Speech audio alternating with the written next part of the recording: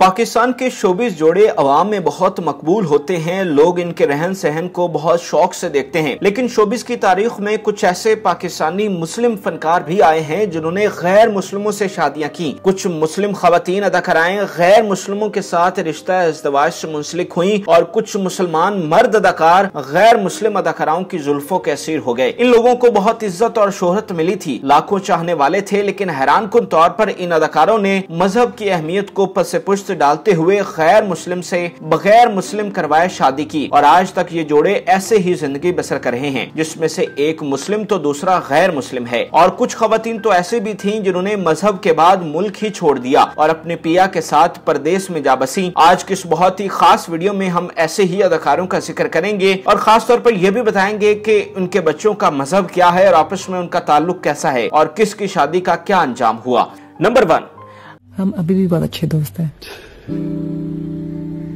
और इस रिश्ते को कभी अंडरस्टमेट ना करना।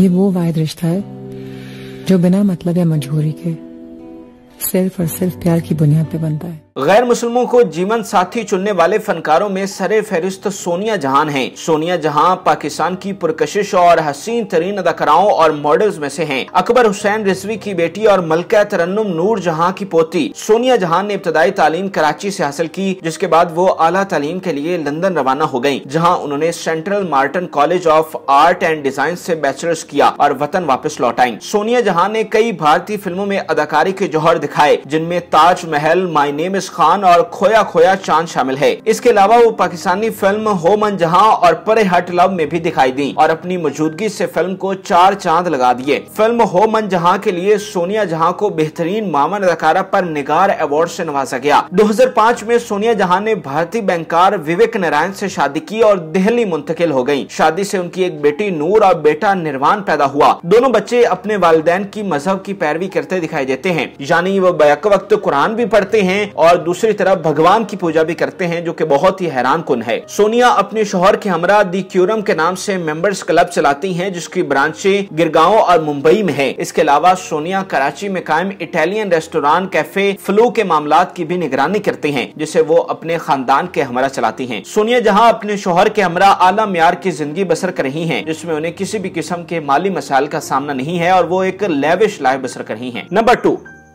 लगता है इस हवेली का रिवाज है। मर्द छुप कर वार करता है और फिर अपनी औरत को आगे कर देता है।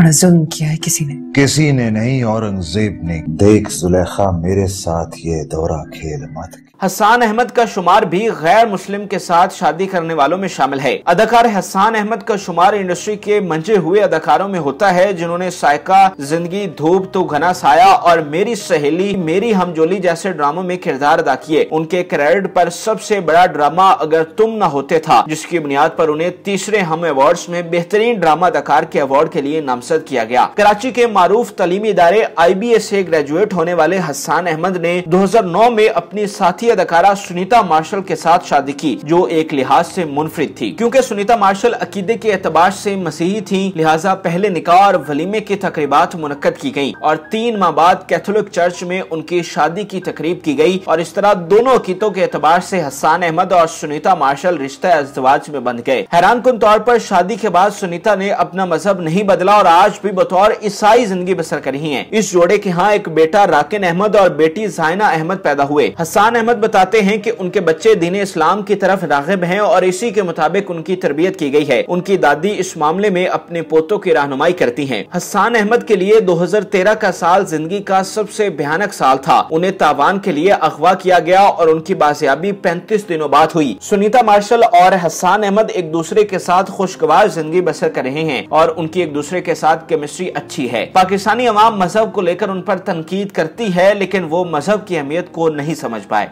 नंबर थ्री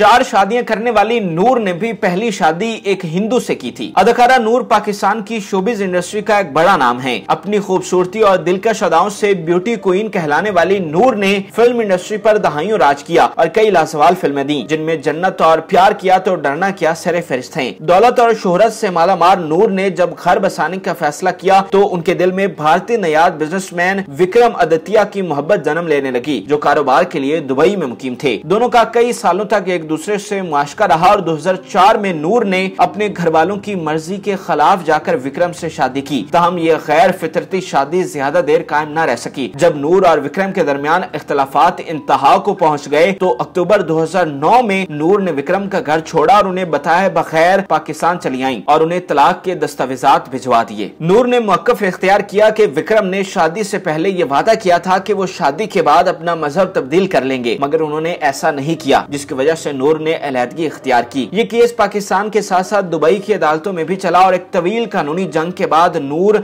और विक्रम के रस्ते हमेशा हमेशा के लिए जुदा हो गए। नूर को अपनी ज़िंदगी में हर तरह की आसाइशें मुयसर रही, मगर शरीक हयात के मामले में उन्हें मुश्किल का सामना रहा और उन्होंने वफा की तलाश में चार शादियाँ कर डाली और अब पांचवी शादी अपने सबका शोहर ओन चौधरी से की। अब वो एक मजहबी शख्सियत बन चुकी है। Number four. यही तो है। आपने हमेशा अपनी बुराई के पीछे खुद को छुपाया है। मुझे तो आपने हमेशा ना समझ और बेवकूफ़ समझा है।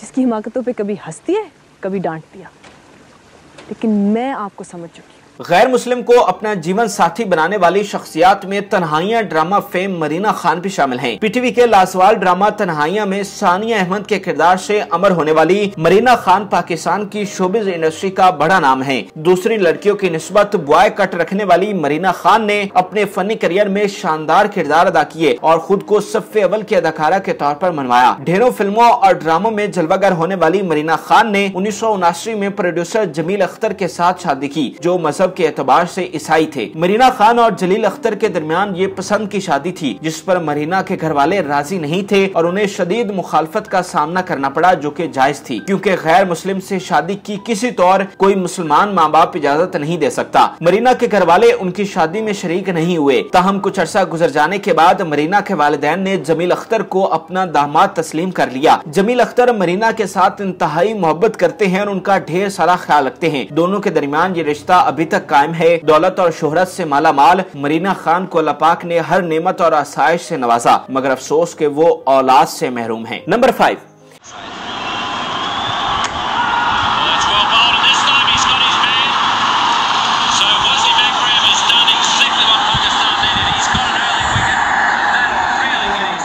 गैर मुसलमों के साथ शादी करने वाली नामवर शख्सियात में आखिरी नाम वसीम अकरम का है, जो कि फनकार तो नहीं, लेकिन पाकिस्तान की टॉप सेलिब्रिटी हैं। स्विंग के सुल्तान वसीम अकरम ने अपनी जादुई गेंदबाजी के बाद दुनिया क्रिकेट पर राज किया। क्रिकेट के जमाने में उनके कई मुआशके सुनने को मिले। उनका नाम भारत की पहली मिस वर्ल्ड सुष्मिता सिंह के साथ जोड़ा गया और उस वक्त दोनों ही जवानी के उरूज पर थे। वसीम अकरम ने अपने करियर के दौरान उन्नीस में हुमा मुफ्ती ऐसी शादी की, जिससे उनके दो बेटे तैमूर और अकबर पैदा हुए। वसीम अकरम और हुमा मुफ्ती का साथ 14 साल तक कायम रहा। 25 अक्टूबर 2009 को हुमा अकबर चेन्नई के अस्पताल में मुतद आजान नकारा हो जाने के बाद इंतकाल कर गई उनकी वफात के तीन साल बाद वसीम अकरम ने मेलबर्न से ताल्लुक रखने वाली गैर मुस्लिम सुनहरा से लाहौर में सादगी के साथ शादी कर ली और अपनी फैमिली के हमरा लाहौर से कराची मुंतकिल हो गए। शादी के दो साल बाद सुनहरा ने बेटी को जन्म दिया, जिसका नाम आयला रखा गया। सुनहरा पाकिस्तान के समाजी मसाइल के हल के लिए मुतहरक दिखाई देती है और इस हवाले ऐसी ट्विटर ट्विटर पर एक्टिव रहती हैं। सुनहरा वसीम अकरम के पहली बीवी से बच्चों को